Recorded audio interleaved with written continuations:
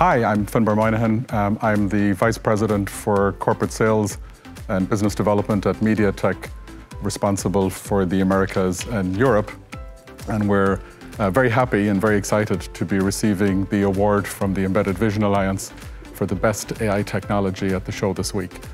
Uh, on behalf of the many teams at MediaTek who've worked on this product and the amazing AI technology that it integrates, I'd like to thank the Embedded Vision Alliance for this, this great honor.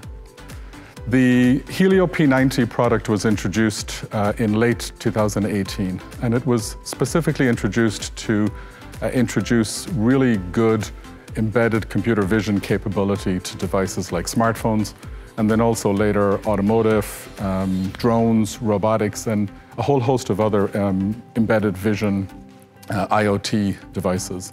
The P90 integrates two vision DSPs um, as well as a proprietary AI hardware acceleration block that when combined um, allows for a combined AI processing capability of 1,165 gigamax.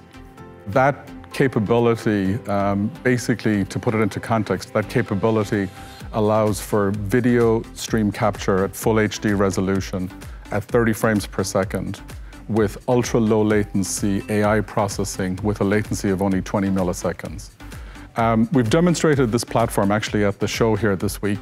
Um, we had a pretty cool demo um, that illustrates the combined use of the camera ISP, the computer vision technology, and of course the AI technology, uh, demonstrating a kind of a cool real-time human tracking, human pose tracking uh, demonstration. The first phones based on the Helio P90 are going to show up in the market in the next couple of weeks. So we're pretty excited to see uh, the AI technologies and the AI capability that, that this platform will deliver. And we expect the same technology will proliferate into other products and, and other devices from MediaTek as we go forward.